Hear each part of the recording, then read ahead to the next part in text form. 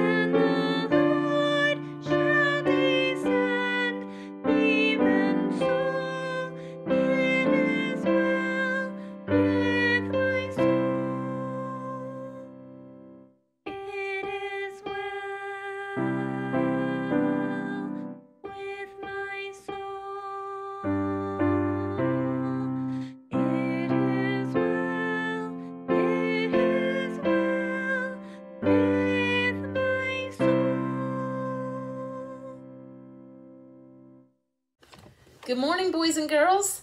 I'm so glad to be with you again another Sunday. I hope that you all are doing well on this Lord's Day and excited to share with you this morning. Um, this morning, or actually yesterday, I went shopping and I picked up some toothpaste. And, you know, we all use that, but I thought maybe I'd have some fun with it before we used it. So, look what I can do. I mean, look at that. How cool is it to play with toothpaste? And I'm kind of making a design here. I'll show you when I'm done. Um, but this is so fun. And I'm making all kinds of designs and it's pretty cool. So, you want to see what I've done? Let me show you. Um, there's my masterpiece. Um, so, it's pretty fun to squeeze that out. I don't know if you've ever squeezed out a whole tube of toothpaste or not, but um, but it was pretty fun. So, um, thing is, I bought this toothpaste for our family to use so um, I better clean this up now. Um, I need to go ahead and put this back in now. So, um, hmm, it kind of, this is, this is kind of tough. Uh, you know, I don't think this is going to work. Yikes. So, I squeezed out that whole tube of toothpaste. I don't think my family's going to be using this toothpaste because it's not going back in the bottle.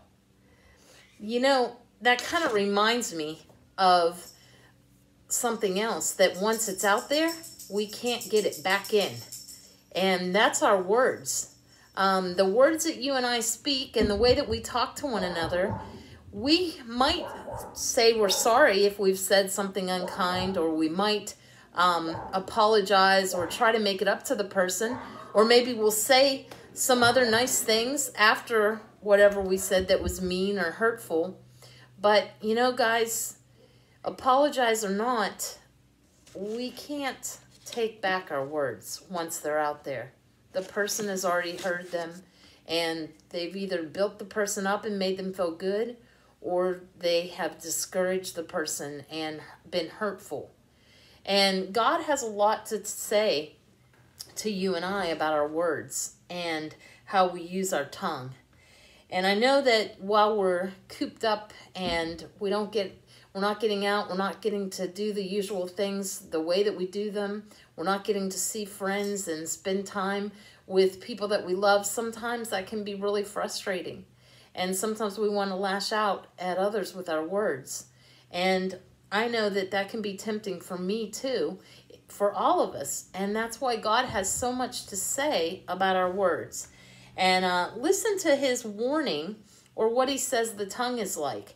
He, sa- he says in the book of James, likewise, the tongue is a small part of the body, but it makes great boasts. Consider what a great forest is set on fire by a small spark. You know, boys and girls, even though our tongue uh, is so small, it's just a little part of our body. God says it can do great damage. He compares it to the damage that a little spark can do in a forest. We know that it only takes a little spark to make a huge, raging, out of control wildfire. And that's how our words can be. The way we use our tongue is important to be very careful because our words that we say with our tongue, though it's small, can cause hurt to people. And it's kind of like this toothpaste. It doesn't want to go back. We can't take them back once they're out there. Listen to some other things that God tells us in His Word about our tongues and how we should use them. He says, Do not let any unwholesome talk come out of your mouths, but only what is helpful for building others up, so that it may benefit those who listen. God wants us to use our words wisely. He wants us to use good words that build people up. And he doesn't want us to use words that tear people down. And then in Philippians 2:14 he tells us do everything without grumbling or complaining. Oh my goodness, that's a big one, isn't it? It's so easy to grumble and complain. You know, especially with all of the new rules and the way that we have to do things now. Maybe some of you are tempted to grumble and complain about doing your homework and your schoolwork online. or doing the work you have to at home instead of being at school with your friends and your teachers. Or maybe you're tired of being cooped up with your brother or sister and you want to complain about that. Or you want to go out to the movies or out to eat and you're tempted to complain. But God tells us that we're supposed to do everything without grumbling or arguing. And, you know, boys and girls, there's a lot of things that we can, ways that we can use our words in unwholesome ways, like telling lies. That would be an unwholesome way, right? Or saying unkind words or hurtful words to someone, making fun of people. You know, sometimes something can seem funny to us at the time, but it can be very hurtful to someone. And we have to be careful, don't we, with our words. And so I want to encourage you with Psalm 141, verse 3. And I got um, another thing from my house.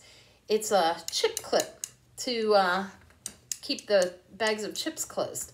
But I want to use it this morning to remind us of Psalm 141, verse 3. It says, Set a watch, O Lord, before my mouth. Keep the door of my lips. So the psalmist, the person who wrote this verse, was asking God, he knew maybe how tempting it was to misuse our tongue and to say words that are not right or hurtful. And so he asked God to help him to to, by setting a watch or a guard over his lips so that he wouldn't say things that are hurtful and things that he shouldn't.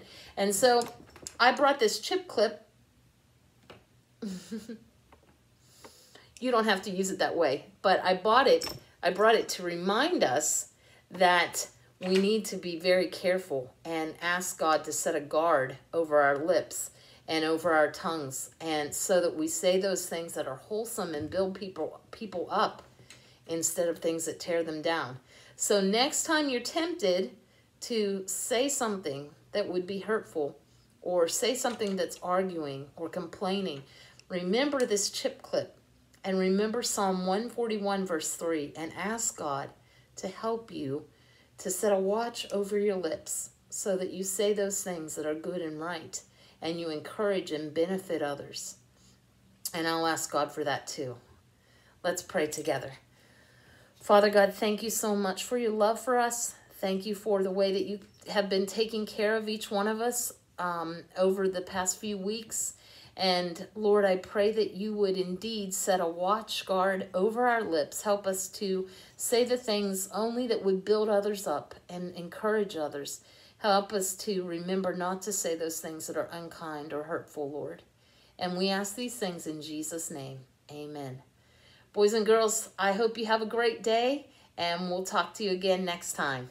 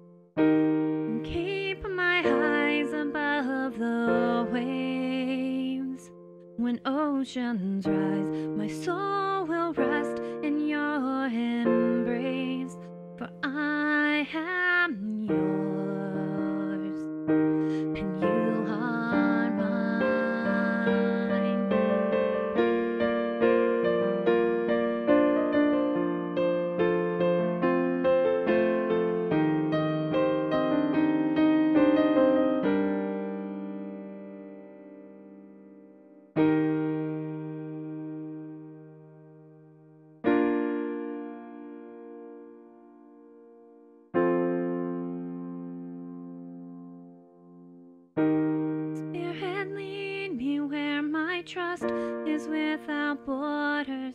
Let me walk upon the waters wherever you would call me. Take me deeper than my feet could ever wander, and my faith will be made stronger in the presence of my Savior. Trust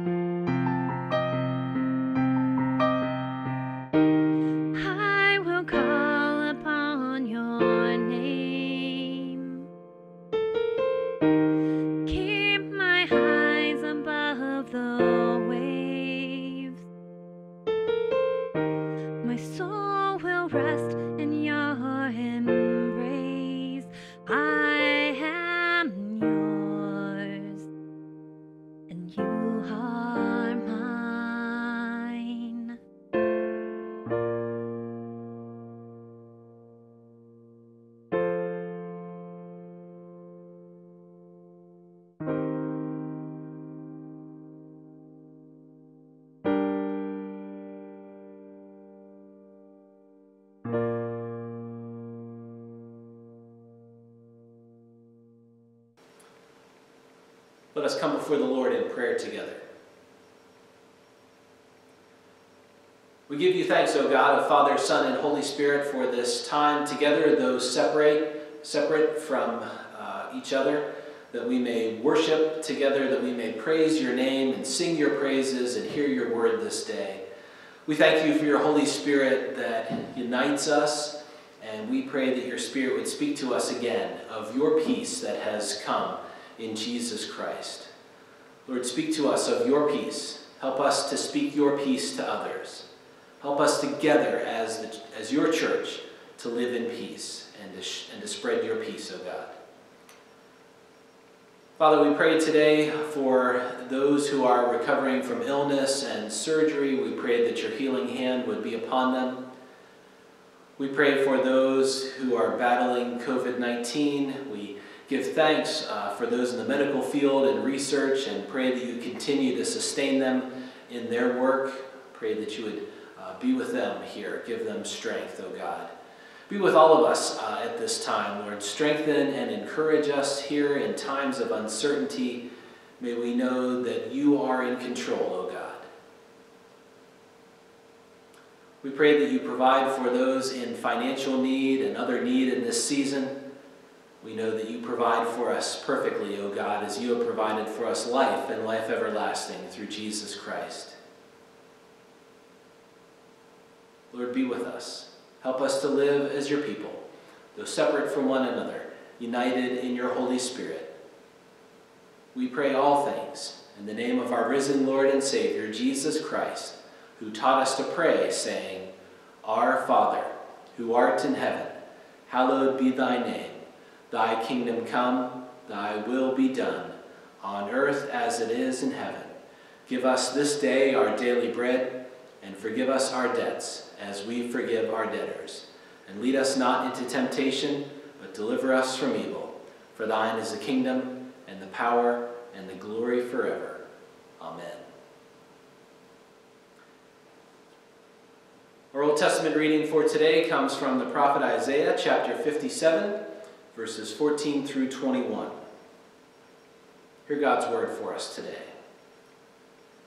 And it will be said, Build up, build up, prepare the road, remove the obstacles out of the way of my people. For this is what the high and exalted one says He who lives forever, whose name is holy. I live in a high and holy place, but also with the one who is contrite and lowly in spirit, to revive the spirit of the lowly and to revive the heart of the contrite. I will not accuse them forever, nor will I always be angry, for then they would faint away because of me, the very people I have created. I was enraged by their sinful greed. I punished them and hid my face in anger. Yet they kept on in their wilful ways. I have seen their ways, but I will heal them. I will guide them and restore comfort to Israel's mourners, creating praise on their lips. Peace, peace to those far and near, says the Lord, and I will heal them. But the wicked are like the tossing sea, which cannot rest, whose waves cast up mire and mud. There is no peace, says my God, for the wicked. From the New Testament today, we hear the words of the Apostle Paul from Ephesians chapter 2, verses 11 through 22. I invite you to grab your uh, favorite Bible to uh, read along here. The words are uh, on the screen as well, but uh, please uh, read along with us as we look at Ephesians 2 here today. From Ephesians chapter 2, verses 11 through 22. Therefore, remember that formerly you who are Gentiles by birth and called uncircumcised by those who call themselves the circumcision, which is done in the body by human hands, remember that at that time you were separate from Christ, excluded from citizenship in Israel, and foreigners to the covenants of the promise, without hope and without God in the world. But now, in Christ Jesus, you who were once far away, have been brought near by the blood of Christ. For he himself is our peace, who has made the two groups one and has destroyed the barrier, the dividing wall of hostility, by setting aside in his flesh the law with its commands and regulations. His purpose was to create in himself one new humanity out of the two, thus making peace, and in one body to reconcile both of them to God through the cross by which he put to death their hostility. He came and preached peace to you who were far away, and peace to those who were near. For through him we have both we both have access to the Father by one Spirit. Consequently, you, you are no longer foreigners and strangers, but fellow citizens with God's people and also members of his household, built on the foundation of the apostles and the prophets with Christ Jesus himself as the chief cornerstone. In him, the whole building is joined together and rises to become a holy temple in the Lord. And in him, you too are being built together to become a dwelling in which God lives by his Spirit. We give thanks to God for his word to us today. Please join me in prayer. We thank you, O God, for time together in worship and time now in your word, your word that directs us to your peace that has come to us in Jesus Christ. Help us to live in your peace, O God. Help us to be instruments of your peace in this dark and hurting world. We ask all things in Jesus' name. Amen. Peace is hard to come by these days, and in some ways our lives are quite peaceful right now. Of course, that might depend on who is part of your quarantine, as it's called. It may be a little too peaceful, as so many things are unavailable to us right now. In other ways, there is very little peace in our lives and in our world. The unknown of the COVID 19 pandemic and what life will look like on the other side of it offers no peace of mind. Even in our commercials and advertisements now, we see and hear the words unprecedented, unusual, and uncertain. So, how can we find peace in this anxious time? So let's talk about what it means to live in peace at all times as we continue our look at the fruits of the Spirit from the Apostle Paul that he lists there in Galatians chapter 5. Bearing the fruit of the Holy Spirit shows others that the resurrected Christ is at work in our lives. So this week we have come to peace. How peaceful have you been feeling here recently? Peaceful is one of the last words that we would use to describe our world and our inner thoughts, even these days. The reality is, is, that we usually have a problem with peace. The plea of John Lennon, the Beatle, to give peace a chance falls on deaf ears. We fail to live in the peace that we experience through our relationship with the living God. We allow conflict and bitterness and rivalries to continue for years after we remembered why they even started. The pleas of the least and the last and the lost go dismissed. We look at their lives and wonder what their problem is and why they can't get their act together. We think of peace as being this passive thing. If I leave you alone, then we'll be at peace. We think of peace as being serene. We're just looking for a little peace and quiet, right? Maybe some of you in your quarantine right now are looking for some peace and quiet, maybe even as you're worshiping together right now. Peace is something that requires our action.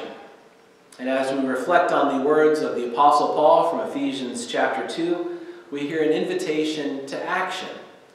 We're invited to live at peace with God through faith in Jesus Christ, to live at peace with others through faith in Christ, and to live as instruments of God's peace together as the church of Jesus Christ. So, as we look here at Ephesians chapter 2, verses 11 through 22 here today, first we see that God's peace gives us life, that we're able to live at peace with God through faith in Jesus Christ. Paul has just told the Ephesian church in verses 8 through 10 For it is by grace that you have been saved through faith, and this is not from yourselves. It is the gift of God, not by works, so that no one can boast. For we are God's handiwork, created in Christ Jesus to do good works, which God prepared in advance for us to do. So this leads us into the therefore at the beginning of our passage. Those who are Gentiles are derisively called the uncircumcised by those who call themselves the circumcised, the Jewish people. Paul refers to the Jewish people as the circumcision, referring to the physical mark of their heritage. The intent of circumcision is to mark Jewish men as belonging to God. It's meant to, to mark on the outside what Jewish men, uh, that, that God desires to cut to their heart. What Paul is talking about here is God's intention behind circumcision. He says a spiritual circumcision of the heart takes place when anyone, Jew or Gentile, comes to saving faith in Jesus Christ, that God desires to cut to the heart of us as we come to faith in the Lord Jesus. Many of the believers in the Ephesian church would have had a non Jewish background, so Paul's reminding them as Gentiles that they would have been excluded from the ability to live in relationship with the living God. They were not citizens of Israel. They would not have known about God's covenants that promise relationship between the Lord and his chosen people of Israel. And Paul reminds the Ephesians that uh, the circumcision uh, that the Jews so prided themselves in was done by human hands. That the Jewish people thought they had the corner on the God market just because of their heritage. So these Gentiles who were once far away from God had been brought near to God through the blood of Jesus Christ. Everyone is brought near to God as God comes near to us in the Son, Jesus. Jesus has come to unite the Jews and the Gentiles under his lordship.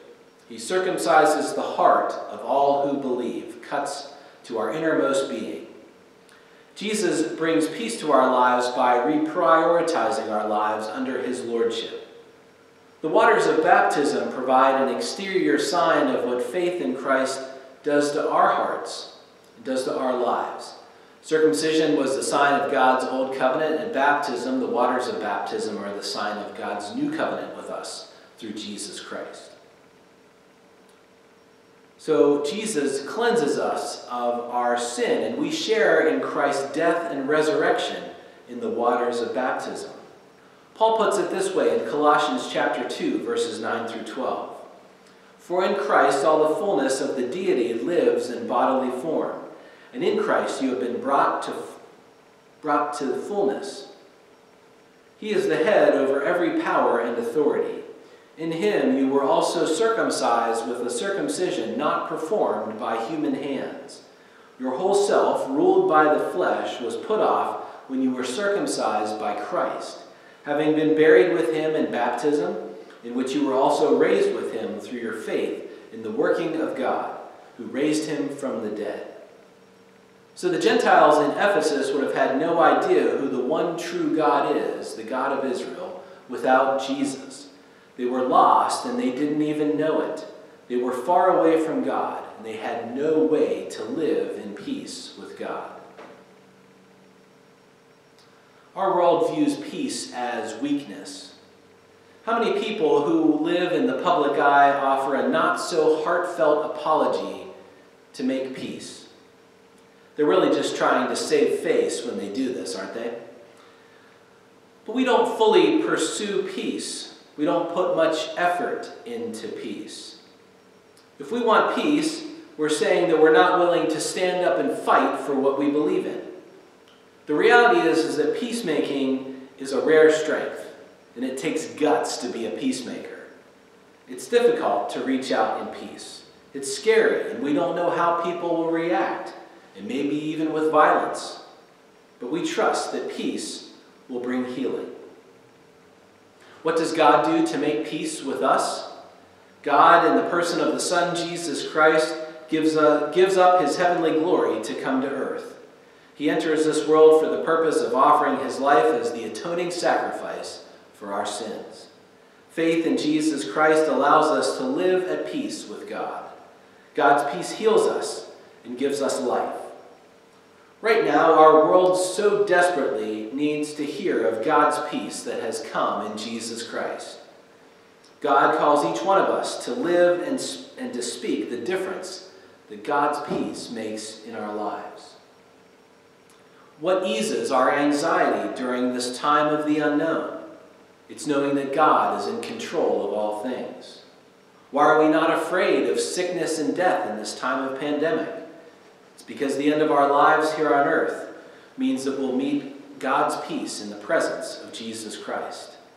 God's peace gives us life today and forever through Jesus Christ. Second, here, Paul tells us that God's peace is given to all through Jesus, Jew and Gentile, all the world. Jesus himself is our peace, he says. He's the one who can bring together the Jews and the Gentiles, all the people of earth. Paul says that Jesus has destroyed the dividing wall. This is a reference to the wall in the Jerusalem temple that would have kept the Gentiles from entering the inner court where the sacrifices were made, sacrifices for sin. It's Jesus that provides the sacrifice that we are unable to provide by our following of the law. He allows us to live with God. Only Jesus is able to unite the long divided Jews and Gentiles through his death on the cross. It's through his violent public execution that God's peace comes to all of the earth. Jesus equally brings God's peace to both the Jews and the Gentiles. The Ephesian church benefits from the promise stated in our Old Testament lesson from Isaiah chapter 57 that says God will extend his peace to his creation. God does this by coming to earth in the person of Jesus Christ. God extends his peace to the Jewish people, those who are said to be near to God, and God extends his peace to the Gentiles, those who are far away. God's peace is available to all who seek it. God never gives up on any of us. God is constantly extending his peace that he graciously offers to us through Jesus. As we experience God's peace, we are called to live in peace with one another. If we do not attempt to pursue peace, we are allowing poisonous growth to choke out any good spiritual fruit that we may bear. God desires to work through us, making his peace. Living as a peacemaker brings others into a closer relationship with God, or even introduces God to someone for the first time. We think we can't have any association with the people that we don't agree with. We have to surround ourselves with people who think exactly the same way we do. But it's okay to engage in conversations with people who are different from us. We can be respectful of differences while continuing to hold firm to our convictions. Now is a time where so many people have some extra space in their lives to consider spiritual and eternal matters that they may not have usually had time to consider. They may have lived as enemies of the gospel their entire lives. But God calls us to pray that they may hear the good news of Jesus Christ in a new way, especially in this season. God's peace is given to all the world in Jesus Christ. Finally, here, uh, Paul, so, Paul, says that we are to uh, live in God's peace as we build the church. God's peace builds the church of Jesus Christ. Since we now live at peace with God and with one another through faith in Jesus Christ, we're now called and equipped to be instruments of God's peace. Paul says that the Gentile Ephesians are no longer viewed by God as foreigners and strangers, but fellow citizens with the Jewish people, now members of God's household. The apostles and the prophets work off the foundation of the chief cornerstone, Jesus Christ, as the church of Christ is built. Through faith in Christ, we are joined together to be the church of Jesus Christ. Together, we are the holy and living temple of the Lord Jesus. The Apostle Paul puts it, or the Apostle Peter uh, puts it this way in 1 Peter chapter 2, verses 4 through 10. As you come to him, the living stone, rejected by humans, but chosen by God and precious to him, you also, like living stones, are being built into a spiritual house to be a holy priesthood, offering spiritual sacrifices acceptable to God through Jesus Christ. For in Scripture it says, See, I lay a stone in Zion, a chosen and precious cornerstone, and the one who trusts in him will never be put to shame. Now to you who believe, the stone is precious. But to those who do not believe, the stone the builders rejected has become the cornerstone and a stone that causes people to stumble, and a rock that makes them fall. They stumble because they disobey the message, which is also what they were destined for. But you are a chosen people, a royal priesthood, a holy nation, God's special possession, that you may declare the praises of him who called you out of darkness into his wonderful light. Once you were not a people, but now you are the people of God. Once you had not received mercy, but now you have received mercy. The members of the early church, no matter what their background may have been, are called to live in peace under the lordship of Jesus Christ. At this time, we cannot be physically together as the church right now. We cannot be together in worship, together in fellowship, uh, together in work, even. But we're still called to exist as the church here in this place, in this community.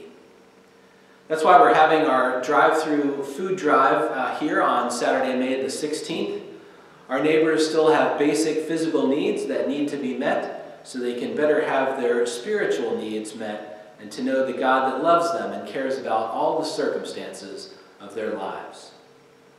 May the God of all peace speak peace to us and help us to speak peace to others. May we live together in God's peace and proclaim God's peace as the church of Jesus Christ. We are to live as a reflection of the peace that we have with God. It overflows into our relationships with others as we strive to live in peace with everyone. We strive to make peace with believers and non believers alike. I want you to think this week about one area of your life where God is calling you to be a peacemaker. It may be that the Lord is calling you to resolve an old conflict, to reach out to a stranger, or to tell a friend or a family member about how your relationship with Jesus makes all the difference in your life. May God, through the power of His Holy Spirit, make us instruments of His peace that has come to all the world in Jesus Christ. Let's pray together. We thank you, O God, that we're now able to live at peace with you today and forever through faith in Jesus Christ. We thank you that we have peace with one another through faith in Christ. Help us to live in your peace. Help us to be instruments of your peace, O God, here in this week. That we're apart from one another. Speak to us and help us uh, to be your peacemakers. Be with us as we live as your people here this week. We pray in Jesus' name.